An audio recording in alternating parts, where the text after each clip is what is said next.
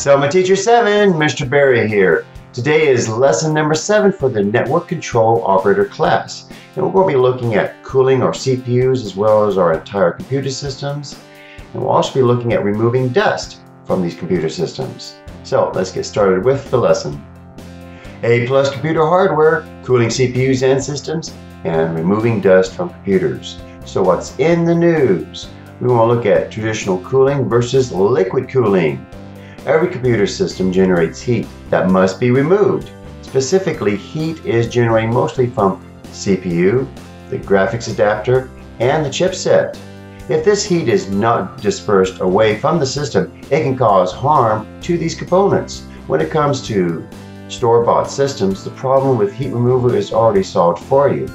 But with the do-it-yourself systems, extra attention needs to be taken to ensure proper cooling of overclocked components. Should you cool your PC with a traditional air cooling solution or go with a pricier yet more efficient liquid cooling system? That question has many aspects to consider before you can answer it. In traditional cooling, fans are used to bring in cooler outside air and remove the warmer air that is inside the case.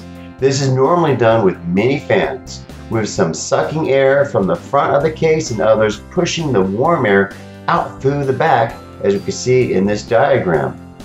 So the cooler air is coming in usually from the bottom or from the front of the case. It goes over the hot components, then exhausts through the back or through the top. Within a system that is water cooled, however, a series of coolant filled tubes called the loop a radiator, water blocks, the equivalent of heat sinks, and a couple of other components are used to keep your PC cool. This setup even needs a few pumps to push around all that water. So we can see here in this diagram, we see the loop with all the tubing. We have a water jacket around your CPU. There may be another water jacket around your GPU or graphics processing unit. You have the radiator. This may have one or more fans. And then you have a pump, normally stationed here at the bottom of the case. Defining air cooling and liquid cooling is the easy part. It is a bit trickier in actually making the decision to use one or the other. First off, we're going to look at air cooling pros. The easy part about air cooling is that CPUs and graphic cards normally come with their own cooling solution. You just need to make sure that everything is plugged in and that the heat sinks are securely fastened onto the units. So, why do we use air cooling? Number one, it's cheap. Number two, it's easy. Number three, it's easy to upgrade with bigger fans if ever needed. Also, consider the cost to your sanity. It's a great deal easier to use four screws to attach a fan to your case than it is to build your own water cooling setup.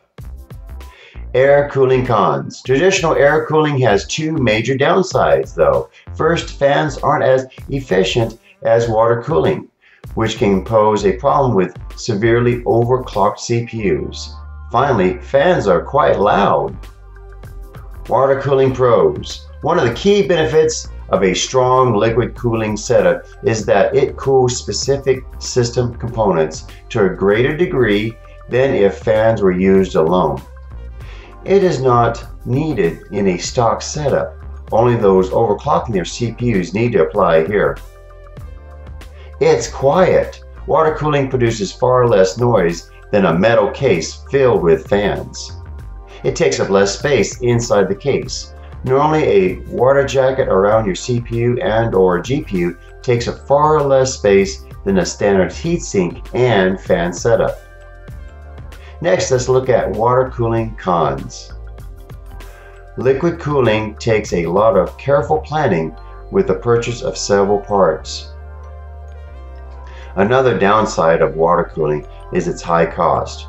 While most traditional upper-end CPU coolers cost somewhere between 40 and $70. Building a liquid cooling setup can cost far more.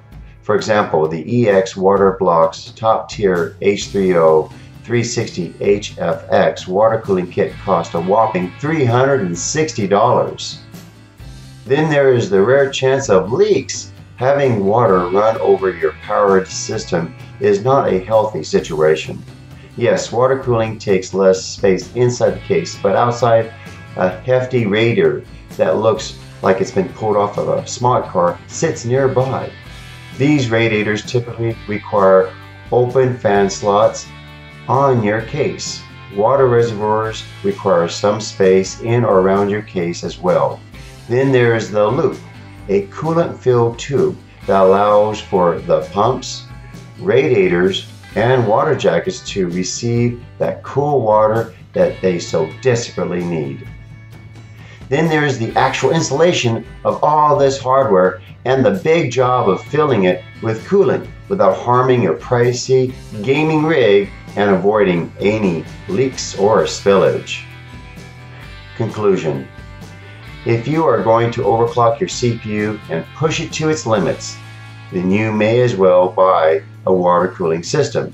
If, however, you are going to only modestly overclock the CPU, then an aftermarket heatsink and fan unit might be your best choice here. Next topic, cooling the CPU. Computer cooling is the process of removing waste heat from computer components. Because a computer system components produce large amount of heat during operation, this heat must be dissipated in order to keep these components within their safe operating temperatures. Components which produce heat and are susceptible to performance loss and damage include integrated circuits such as your CPUs, chipsets, and graphic cards, along with hard drives. Overheated parts generally exhibit a shorter maximum lifespan and may give sporadic problems resulting in system freezes or even crashes. Causes for heat buildup. Dust acting as a thermal insulator and impeding airflow, thereby reducing heat sink and fan performance. Poor airflow including turbulence due to friction against impeding components or improper orientation of fans can reduce the amount of air flowing through a case and even create localized whirlpools of hot air in the case. Poor heat transfer due to the lack of or poor application of thermal compounds. Note for desktop with regards to airflow. Smaller cases with larger fans tend to have better cooling than larger cases with many fans. They tend to form actually hotspots near the motherboard as seen in this diagram. So here we have a large case with many fans, some blowing up, some blowing from the front, some blowing in from the side, and you get hot spots build up right on the motherboard, here and here. So as this diagram depicts, there are a number of hot spots that form above and to the right of the video card. A smaller case solves this issue by having all the airflow flowing the same direction. Don't worry, this is not a deal breaker or a reason to upgrade to a smaller case, just an observation. When designing a gamer rig, have the intake fans pulling in air from below the case and have good exhaust fans pushing air up and out of the case. This allows the hot air to naturally rise with the airflow created by the fans. Within smaller cases have all the fans blowing in the same direction. As seen in this diagram here. So normally you go from the front, it blows over your components, and the exhaust through the back. Finding the right CPU cooler for your unit. CPU fans and heatsinks come in different form factors to fit onto different CPU sockets. So it is very important to buy a cooling solution that is compatible to your CPU socket and thermal dissipation requirements. Common sockets would be the AM4, this would be reserved for your AMD CPUs, and then the LGA 1150, LGA 1151, LGA 2011, and the newer LGA 2066. Here we see a very good example of a CPU fan and heatsink unit called the Noctua. This sells for around $90 and this unit fits both the socket 1151 and 2066. Next topic, removing the dust from within the desktop PC. Dust presents a major obstacle to cooling, so keep it clean. To get to the heart of the problem, open the case and remove the dust from the CPU heatsink using a small brush. You may remove the fan to better reach the dust in the heatsink. Continue loosening all of the dust within the case, especially around the video card and your hard drives. Blow the loose dust away from the area. You may use Q-tips or cotton swabs to scrub the fans and fans clean after removing the dust. Then reinstall the fans and other parts, close the case, and then turn on the unit. Next topic, removing the dust from a laptop PC. Dust builds up in all of the openings of the heat sinks covering their CPU, video card, and chipsets. To remove this dust, disassemble the laptop unit and remove it using Q-tips, brushes, and then blowing the dust away. Step 1. Power off the laptop, unplug it, and also remove your battery. Open the clamshell to achieve contact with the CPU's heatsink. Remove the dust with a Q-tip and small brush, as seen here. After removing the dust, reassemble the unit and test to ensure that everything works properly. Questions for lesson number seven. If you are taking this class for credit, then please take a clean sheet of paper and write your name along the top line. After writing down the answers to these questions, please turn them in to Mr. Berry. Question number one. What were the two methods used to cool a CPU described in this lesson?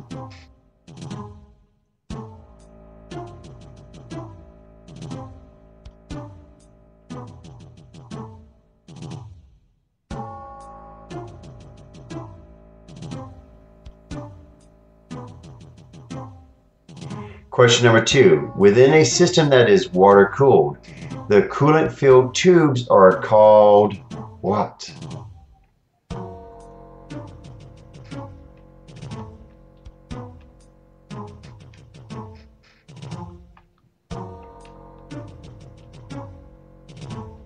Question number three.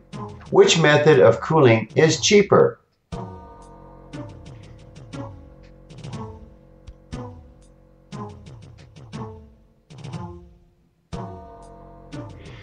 Question number four.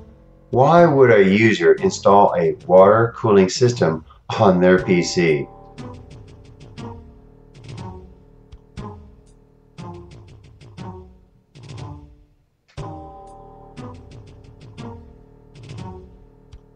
Question number five.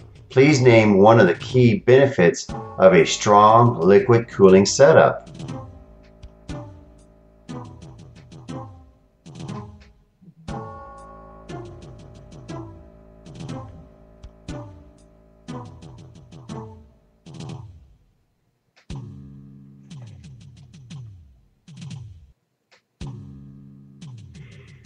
Question number six. Poor airflow, including blank, due to blank, against blank, blank, or improper orientation of blank, can reduce the amount of air flowing through a case and even create localized whirlpools of hot air in the case. So please fill in the missing words. I'll give you a few moments to do that now.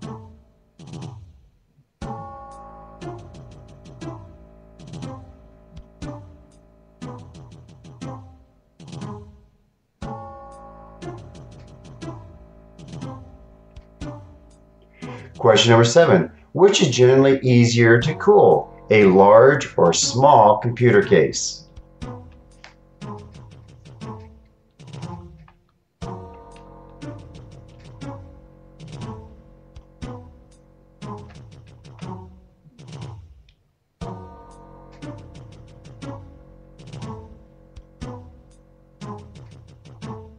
Question number eight. What are the tools used to remove dust from a PC?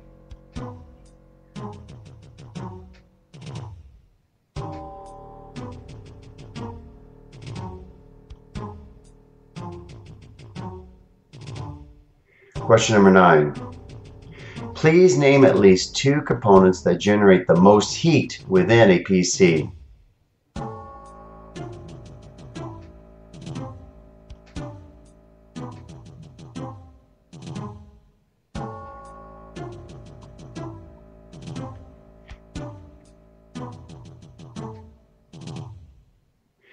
Question number 10. Intel's X processors fit into what CPU socket number?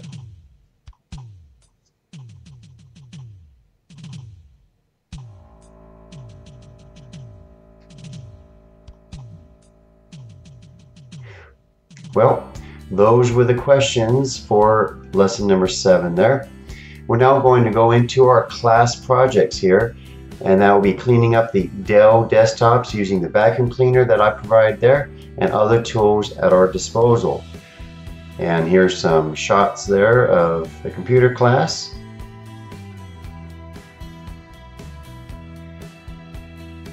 If you're watching this on YouTube, please give it a thumbs up if you like the video, share if possible, and leave a comment. Thank you again and bye-bye.